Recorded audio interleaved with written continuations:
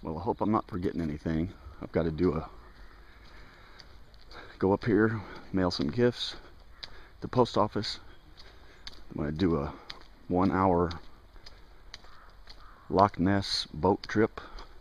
Then I've got to get on a bus, which takes me out to a forest registry thing, hike for eight miles to where I'm going to sleep tonight, and get up, hike back out.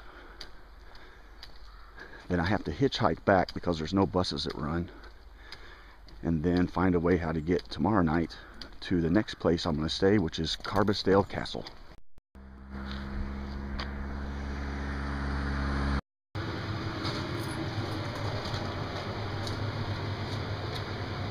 That's the penguin going out.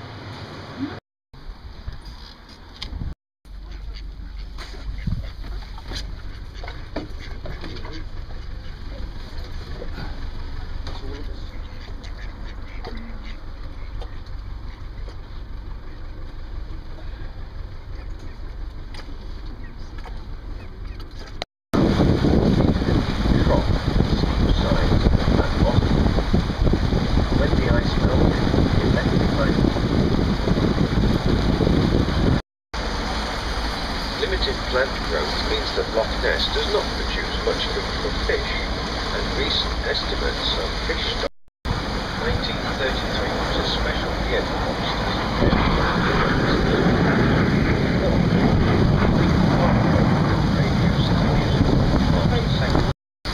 Some film sequences were taken, possibly in the one rating in 1967. This is a when I obviously stayed exactly the same. very strange. It showed an object surging on the story, very hard to believe.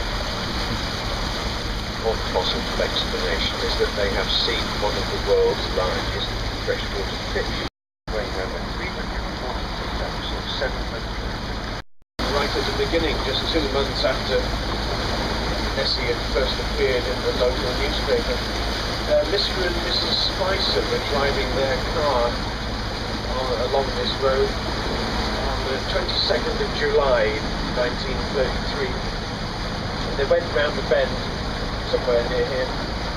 Uh, 200 yards ahead of them, they could see this strange thing in the road. Uh, the, there was a, it was a bicycle track if you want to put your mountain bike up. I've done it twice.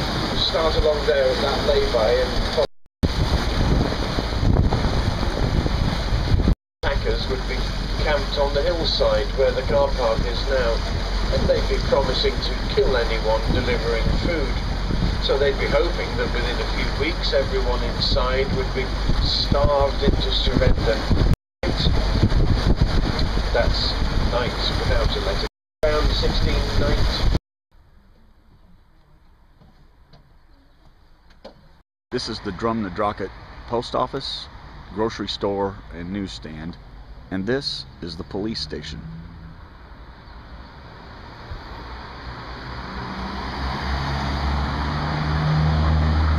East coast, over the back of the Cairngorms. The, the Queen's staying over there just now, and they have the Braemar gathering, and she ghosted. Most of the royals are overstaying in this Balmoral Castle.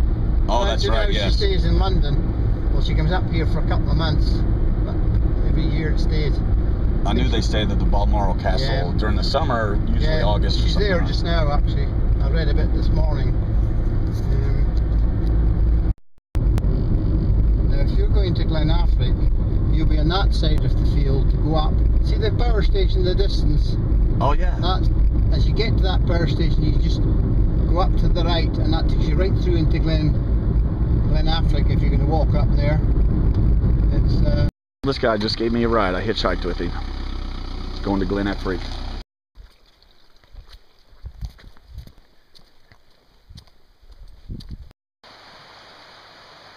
Even their streams are black. I mean, that's just black.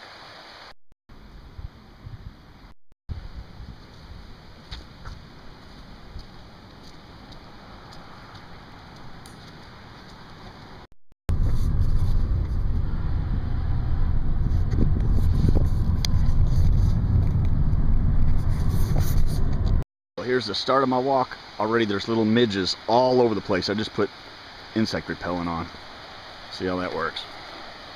Well, now I got seven and a half miles. These colors are amazing.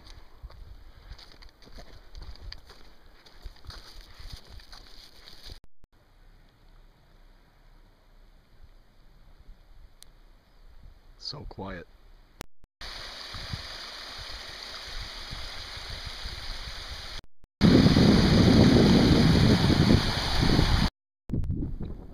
Well, about one hour into my hike to Glen Affric. I've been on this trail for that hour. I have not seen or heard any people at all. So this is definitely way out. If I have a heart attack, this is it for me.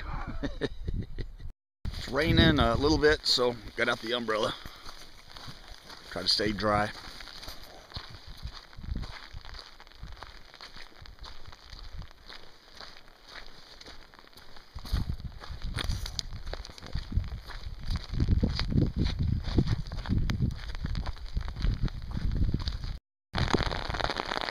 How awesome is this? It's raining. I'm miles away from anybody.